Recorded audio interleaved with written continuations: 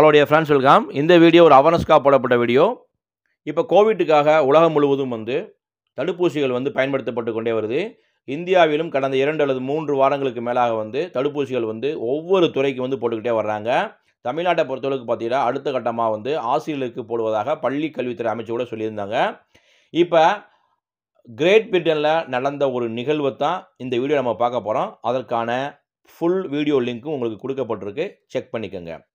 Pfizer நிறுவனம் த- தடுப்பூசியை போட்ட இரநூத்தி முப்பத்தாறு பேரும் ஆக்ஸ்போர்டு யூனிவர்சிட்டி தயாரித்த தடுப்பூசியை போட்ட தொண்ணூறு பேர் மொத்தம் முந்நூற்றி இருபத்தி ஆறு பேரும் பலியானதாக கிரேட் பிரிட்டனுடைய சுகாதாரத்துறை இன்னைக்கு வந்து அறிவிச்சிருக்கு. இப்போ இறந்தவங்க எல்லாமே வயதானவங்களாம் ஒவ்வாமை போன்ற பல்வேறு காரணங்களாக இறந்துருக்காங்க. இந்த முந்நூற்றி இருபத்தி ஆறு பேரும் தடுப்பூசி போட்டதுனால் மட்டும் இறந்தாங்களா?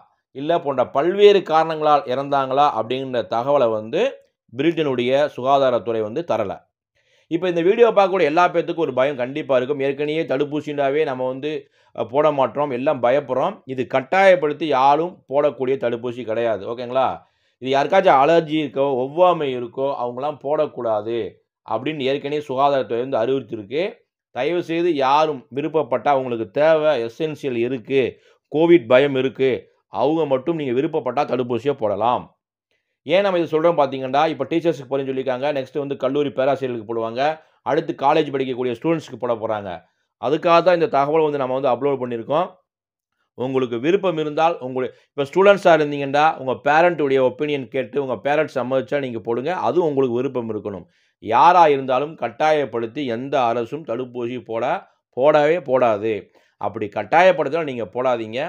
இதை பற்றி அவேர்னஸ் நிறைய நீங்கள் வந்து படிக்கணும்னா நெட்டில் நிறையா இருக்குது நீங்கள் வந்து எடுத்து எடுத்து பாருங்கள் எல்லா நியூஸ் சேனல்லையும் இருக்குது இப்போ அந்த கிரேட் பிரிட்டனில் முந்நூற்றி இருபத்தாறு பேர் இறந்தாங்க.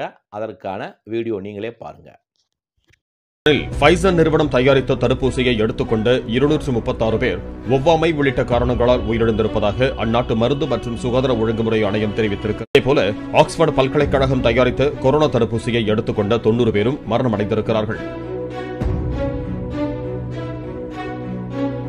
இறந்தவர்களில் பெரும்பாலானோர் வயதானவர்கள் என்றும் கொரோனா தடுப்பூசியால் தான் உயிரிழந்தார்களா என்பது உறுதியாகவில்லை என்றும் சுகாதாரத்துறையினர் தெரிவித்திருக்கிறார்கள்.